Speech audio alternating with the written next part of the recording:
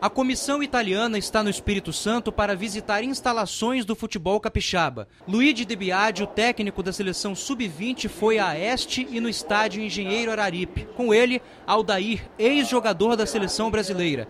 A ideia é a realização de um amistoso sub-20 entre Brasil e Itália. Colocamos o interesse do Espírito Santo, temos alguns pontos aí para serem discutidos até semana que vem. Isso ainda não se concretizou, mas a possibilidade ficou, ficou em aberto. Existe muito trabalho para fazer ainda, claro, aqui no Espírito Santo, para realizar isso. Sabemos que a seleção da italiana é muito exigente.